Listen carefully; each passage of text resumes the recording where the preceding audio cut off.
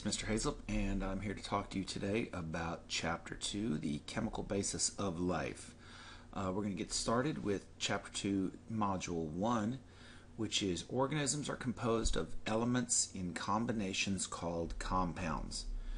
Now, we know all life on Earth is, you know, the focus of this course. The study of all life is biology and we know that that's the study of living things. But this chapter focuses on the building blocks that make up those living things, the non living um, atoms, the non living elements, the non living compounds, and the molecules that are also non living that then make up living things. Okay, and it's these building blocks that make all life on Earth possible without these atoms, elements, molecules, and compounds, we would have no life here on Earth. So let's go ahead and move on. All right. Um, we know that all life on Earth is made of what we call matter. And matter, we say, is anything that takes up space. That means it has volume and it also has mass. Okay? Matter is made of elements, and of course, we like to try to classify these elements. So we've created this periodic table of the elements, and we organize the elements according to various properties. Now, what is an element? Well, an element is any substance that can't be broken down any further and still retain its unique physical and chemical properties.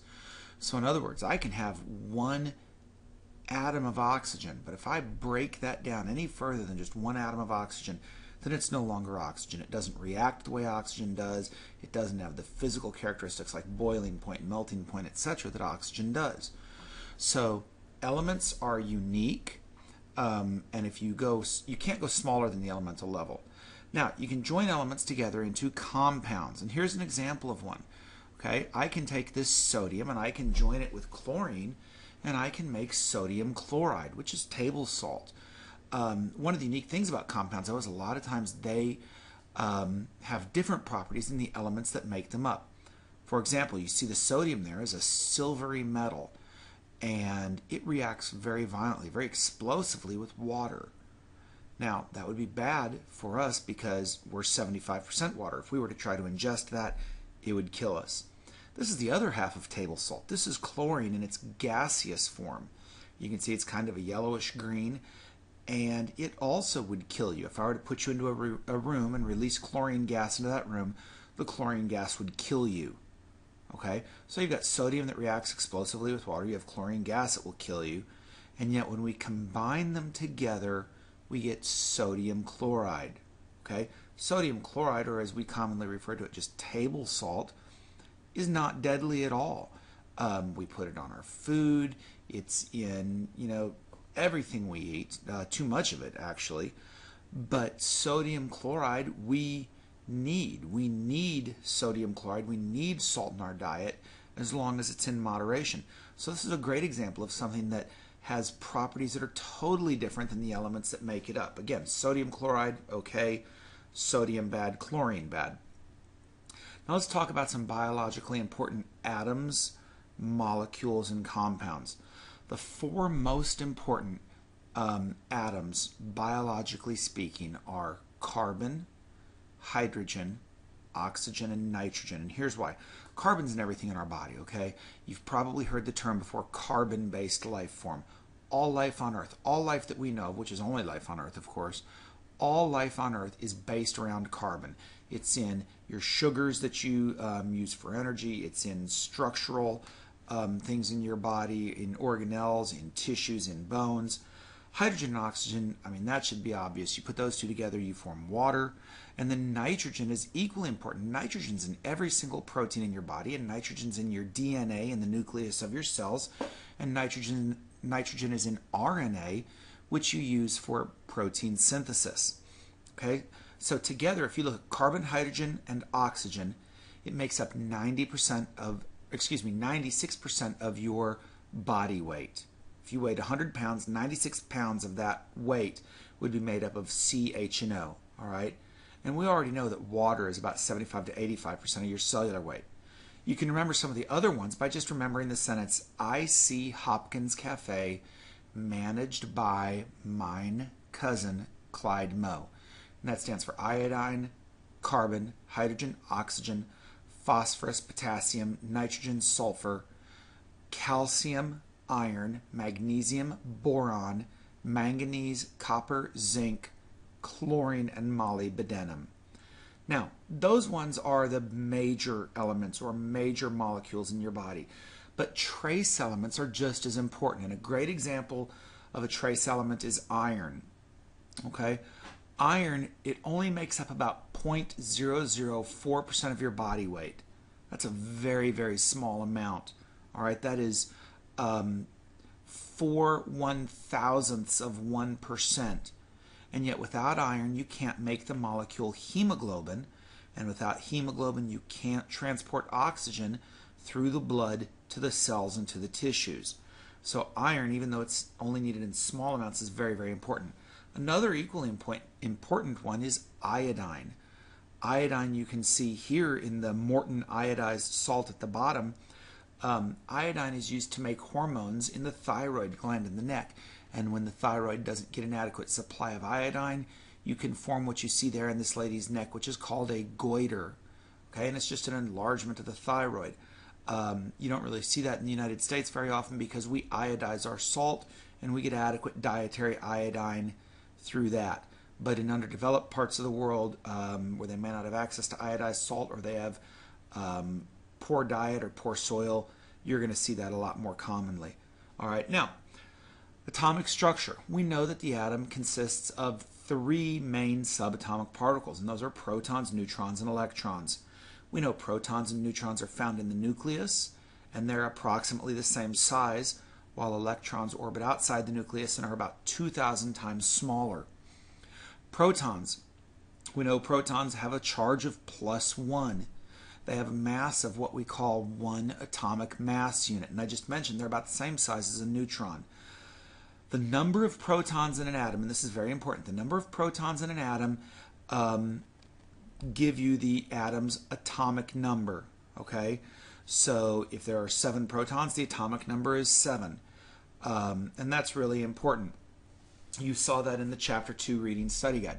And we use protons quite a bit in biology. We use them to make proton gradients to do work. We use them for all sorts of things, okay?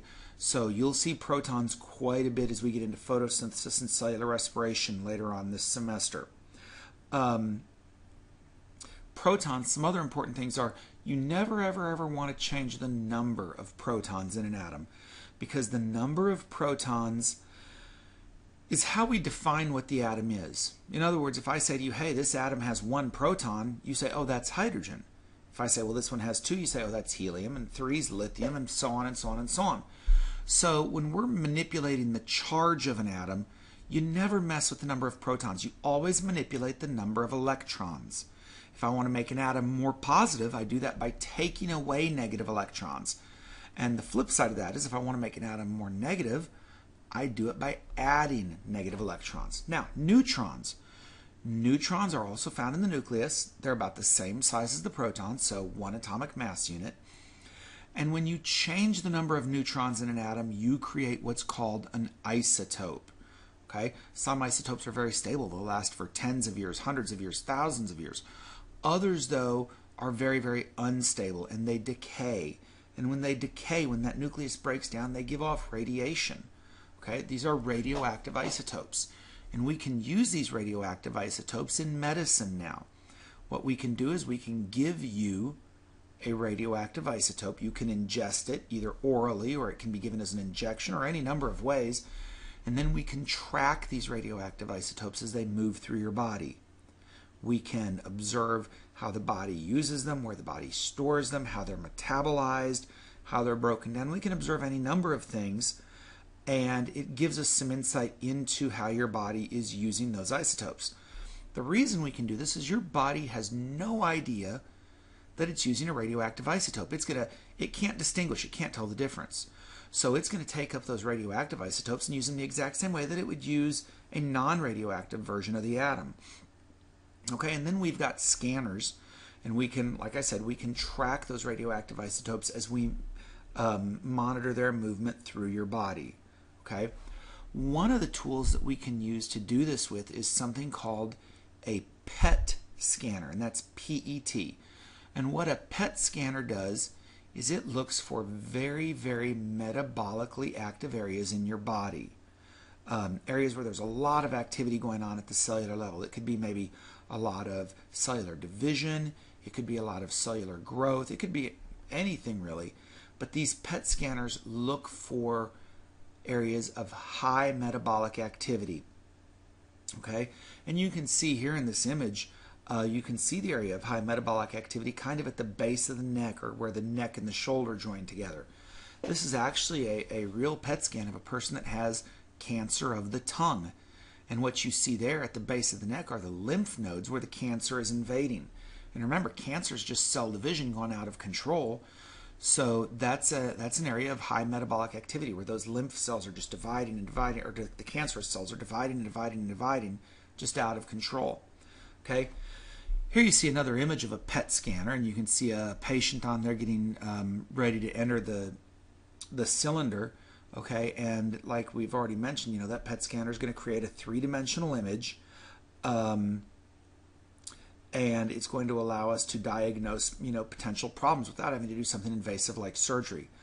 Another great use that we've just figured out we can um, use the PET scanner for is we can diagnose Alzheimer's very early on, which allows us to start treatment much earlier.